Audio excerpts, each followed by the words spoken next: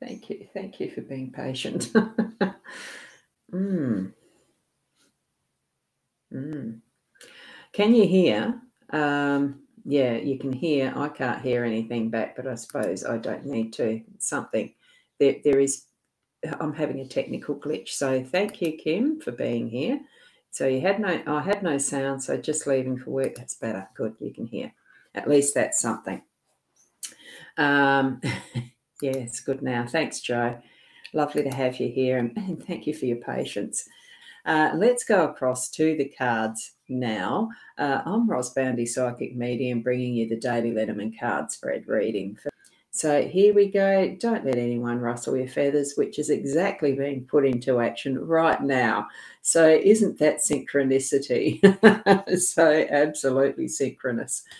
And we have the fairy tale card deck that we're using. That's this one. And I'll just place that to the side. We may see that again. Here's the cute little guidebook that I'll be using because there is a couple of these new newer cards that I don't know if we've read the fairy tales behind these ones. And it is the key, the lady, the coffin, and the gentleman as our fan spread for this morning. So, as always, they're a lovely spread because they will always um, bring together something that we are receiving from our spirit guides, our angels, our whatever, even just, um, you know, even if it's only just one little message for the day, we can always gain something from this. So, with the key, and remember that with the fan spread, this is the main stick that holds those fins that are the fan. Okay, so it's around the gentleman. There's going to be a the dog start to bark. Something's going past.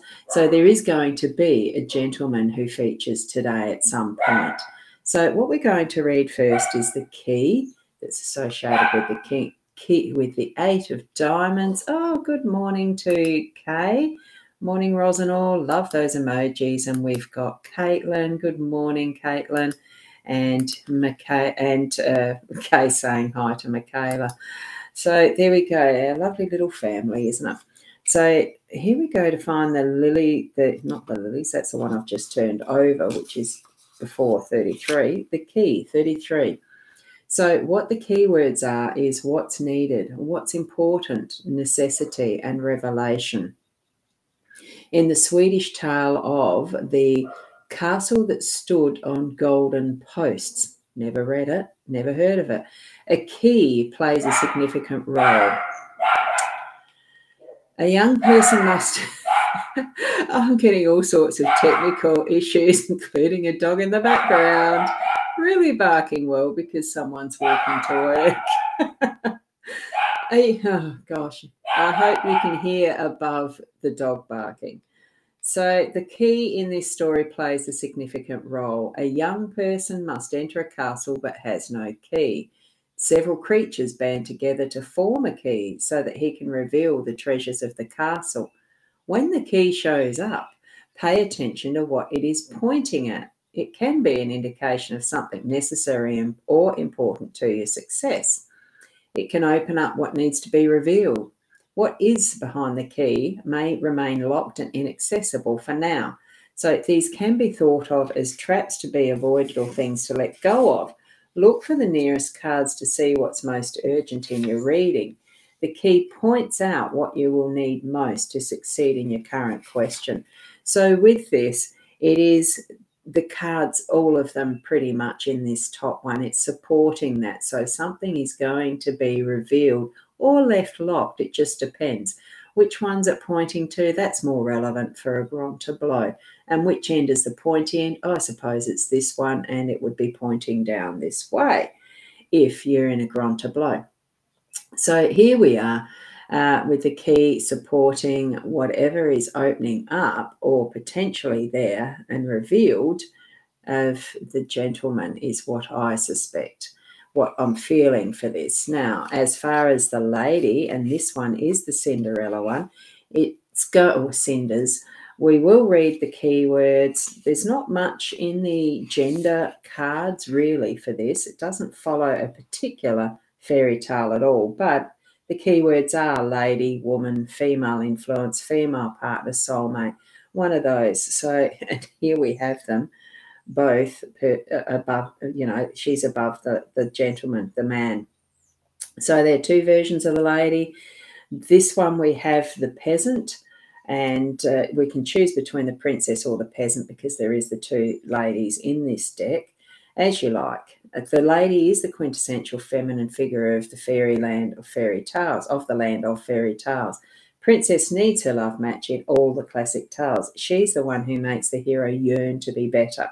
So, feminist leanings aside, the lady represents the feminine side of life. Here, your princess wears a gown featuring purple, one of the colours. This one is the peasant. So, uh, if the if the, in the peasant lady we feature Cinderella.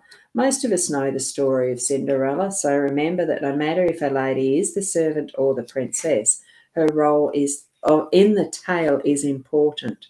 Her presence in the Lenormand deck straightforward. If your questions for a woman, cards for a woman. So that's what this means. And now we're going to move to the coffin at number eight. And this is bringing to us the keywords of ending, death, transformation, sad times. From Snow White, the Brothers Grimm version, we see her coffin draped for mourning.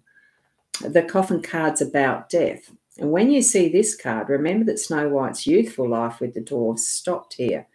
Her new adult life would begin when she's awakened by the prince. There was a great deal of sadness when her seven companions found Snow White dead.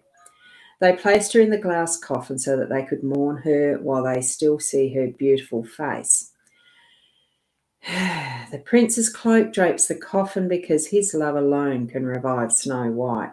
When she awakens, she's been transformed into a princess. Never forget that old ways must end before change and progress occur. Here is the transformation. So where the coffin appears in your spread indicates something coming to an end, and it can be a natural death, but this card also suggests the idea of letting things go. A good question for this card is what changes need to happen in your life? Look for where you can best affect that needed change. And this these three in the way that it's that soft feminine energy in the center of these, that transformation that occurred for Cinderella, the transformation that occurs for Sleeping Beauty. And the key is that there is that connection with the gentleman. Is it to do with finding a soulmate for those who are looking? Is it to do with just being able to stand up and be stronger and bring in that that is the more masculine energy and the strength that that um, can, you know, signify as far as standing your ground, as far as being assertive, as far as being able to do what you set your mind to. Not to say that women can't either, but it's a, it is a different energetic in this between the lady and the gentleman. So, with the gentleman card, it can be prince or peasant. What we have here is perfectly matched. We've got the keywords of home, soulmate, man of importance, male partner, masculine influences, which I've already mentioned. So there are two versions again of the gentleman.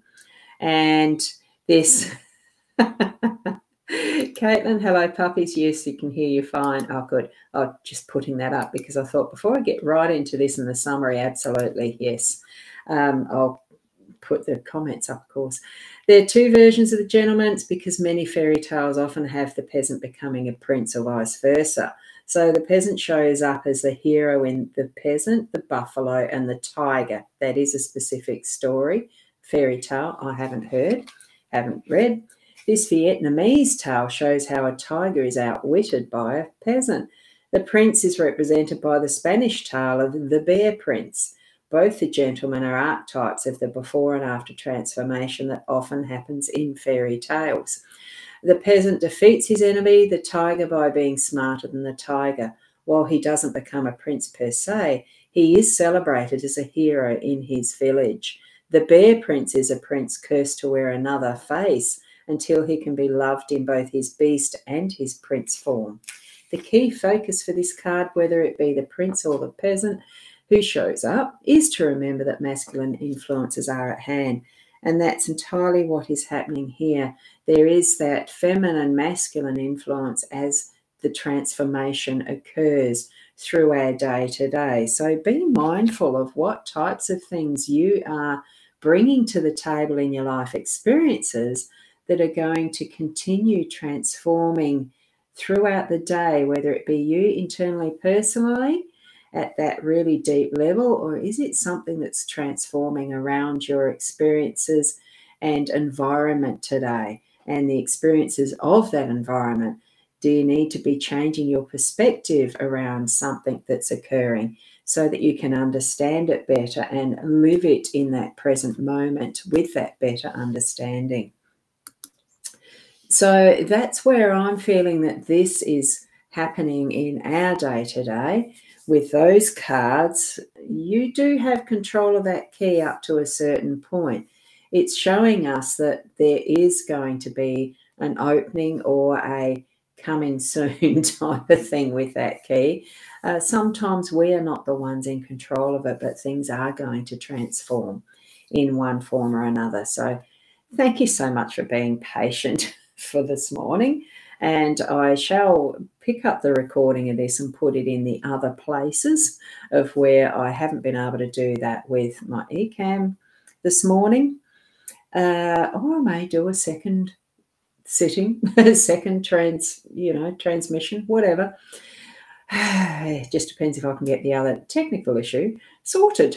So just keep being, and this is where transformation can happen on the hop too it's finding different ways to work around stuff that isn't working first time. Gonna try it the same way exactly to get the same result? No, we are going to change it up a little bit, even if it's just that minutest of techniques we use or you know changing the perspective or whatever it is we see it as and we may have misunderstood and now we're going to be understanding a lot better you know take take the flow of what you're receiving in the way it fits the context of your life.